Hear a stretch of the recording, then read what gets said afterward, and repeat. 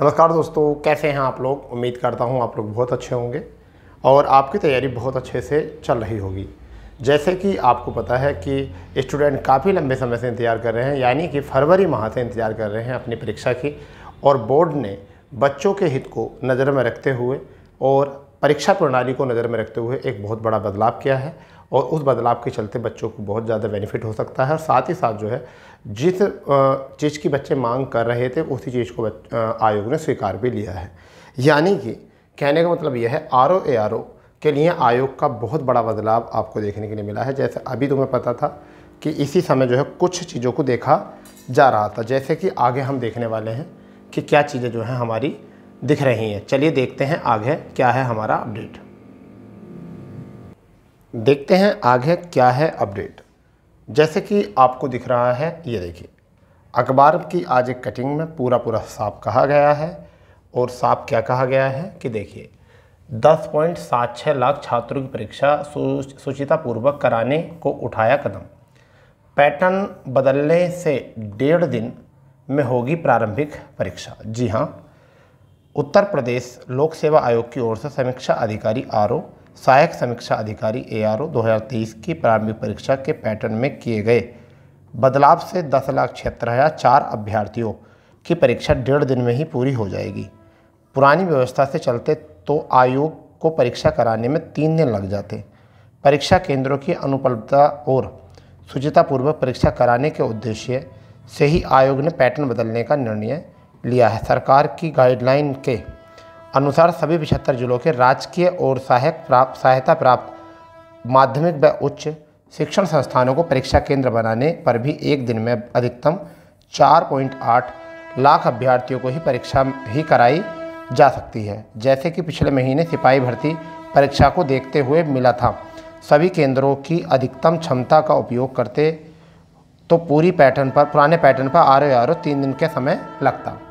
इसे देखते हुए आयोग ने सामान्य अध्ययन और सामान्य हिंदी, जिसमें शब्द, सामान्य ज्ञान, व्याकरण की अलग अलग परीक्षा कराने की बजाय तीन घंटे का एक प्रश्न पत्र कराने का फैसला लिया है। तीन घंटे की एक पाली होने के कारण दस लाख छिहत्तर हज़ार चार अभ्यर्थियों की परीक्षा तीन पालियों में डेढ़ दिन में ही संपन्न हो जाएगी। इसका दूसरा लाभ यह भी मिलेगा कि कम समय में परीक्षा होने से सूचित, सूचिता बनी रहती है। जितना अधिक समय परीक्षा कराने में लगेगा, उतना अधिक उसमें सेंधमारी की आशंका बढ़ जाती है। गौरव तलब है कि आरओ के तीन सौ चौंतीस और एआरओ के सत्तर कुल 411 पदों के लिए आयोग की ओर से 11 फरवरी को अट्ठावन जिलों के तेईस सौ केंद्रों पर प्रारंभिक परीक्षा कर आयोजित की गई थी। देखिए, पहले जो होता था, अब समझिए, मैं और आगे बताना चाहता हूँ, संशोधन हुआ क्या है, वो ये हुआ था। इसको थोड़ा सा जूम कर लेते हैं, जिससे कि आपको और जुड़ जाएगा। ये तीस तारीख का था। चलो, इसमें क्या चीज़ थी, मैं दोबारा फिर बता देता हूँ। देखिए, इसमें प्रश्न पत्र का नाम जो कर दिया गया, सामान्य अध्ययन और सामान्य हिंदी एक कर दिया गया। प्रश्न वस्तुनिष्ठ रहेंगे, एक प्रश्न पत्र रहेगा 200 प्रश्न रहेंगे, जिसमें सामान्य अध्ययन 140 और सामान्य हिंदी 60 प्रश्न पत्र निर्धारित अंक एक होगा, प्रश्न पत्र का पूर्णांक 200 का होगा, समाप्ति तीन घंटे की मुख्य परीक्षा ऐसी होगी। पहले क्या होता था? मैं आपको बताना चाहूँगा पहले। पहले ऐसा होता था, दस बजे से और बारह बजे के बीच एक पेपर होता था, जिसे हम कहते थे सामान्य अध्ययन। ये आपका एक पाली में होता था, यानी इसमें 140 परसेंट आते थे। फिर तीन घंटे का गैप रहता था। तीन घंटे का फिर आपका तीन बजे से, तीन बजे से और चार बजे तक ये एक एग्ज़ाम होता था, एक घंटे का इसमें समय रहता था। तीन घंटे गैप के बाद वहाँ साठ क्वेश्चन हिंदी के हुआ करते थे, जबकि हिंदी को साठ क्वेश्चन, साठ मिनट की ज़रूरत नहीं होती थी। यहाँ बीस तीस मिनट में बच्चे हिंदी कर लेते थे टाइम ज़्यादा लगता था। पाली बदल रहे हैं। तो अब इसका टाइम भी आप इधर एक चार एक घंटा चालीस में सॉरी एक सौ चालीस परसेंट में दे सकते हैं। तो इससे एक बच्चों का स्कोर बढ़ेगा। बच्चों का बीच का जो समय है, जो दूर दराज से सेंटर से आते थे बच्चे, दूर दराज से पेपर देने आते थे, वो सुचितापूर्वक जो है अपने घर जल्दी पहुँच जाएँगे। ठीक है? और जिससे क्या है एग्ज़ाम का जो है लेवल अच्छा हो जाएगा।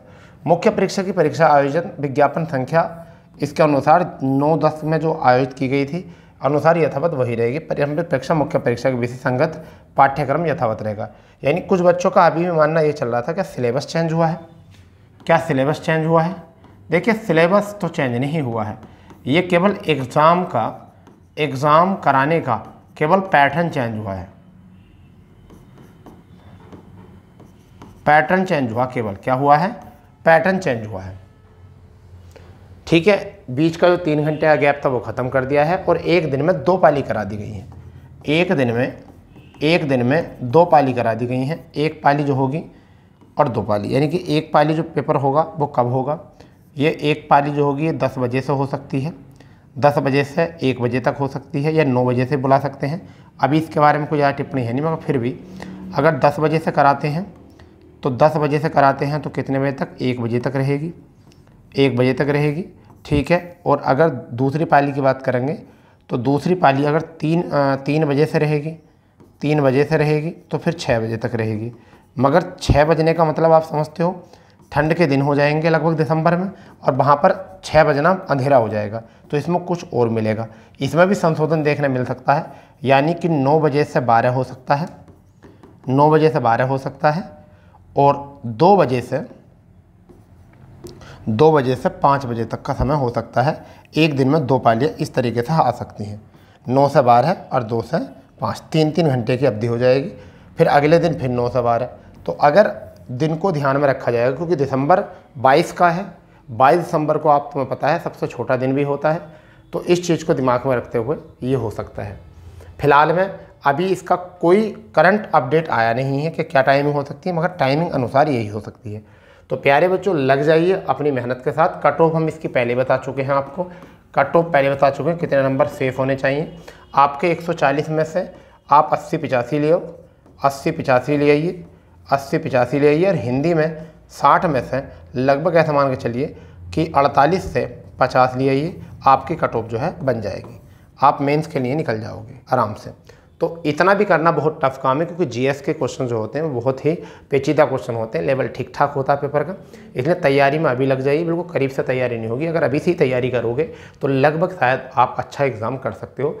वैकेंसी ज़्यादा थी तो बच्चों ने आवेदन भी ज़्यादा किए हैं। दस लाख छिहत्तर हज़ार चार बच्चे हैं तो इसलिए कॉम्पिटिशन ज़्यादा होगा। लगभग ऐसा मान चलिए कि लगभग fifty two percent forty eight percent बच्चे ही प्रेजेंट होंगे इस बार, क्योंकि कुछ बच्चों का पुलिस का पेपर अच्छा गया तो वो आर ओ पे ज़्यादा रुचि नहीं लेंगे, ठीक है? फ़िलहाल भी परसेंटेज इस बार कम रहेगी, क्योंकि एग्ज़ाम और भी काफ़ी हैं तो उनकी बच्चे तैयारी कर रहे हैं तो इस बीच में जो है, जो वनडे एग्ज़ाम की तैयारी करने वाले बच्चे हैं, वो इधर नहीं जाएँगे, क्योंकि पहले जब ये एग्ज़ाम हुआ था तो उस समय कोई भी एग्ज़ाम नहीं था। जब ये फरवरी में एग्ज़ाम हुआ था तो उस समय कोई भी एग्ज़ाम नहीं था, जिसके चलते जो है बच्चों ने सबसे पहला रुचि जो ली थी, वो आर ओ में ली थी। परंतु इस बार हाई कोर्ट का पेपर हो जाएगा उसी समय, ठीक है? उसी समय बच्चों की तैयारी junior U P triple S C की चल रही होगी और उसी समय जो है बच्चे पी सी एस की तैयारी भी कर रहे होंगे, ठीक है? तो पी सी एस वाले बच्चे तो दे सकते हैं, क्योंकि पी सी एस और आर ओ आर ओ का पैटर्न थोड़ा थोड़ा जो है प्री का सेम होता है, इसलिए वो दे सकते हैं।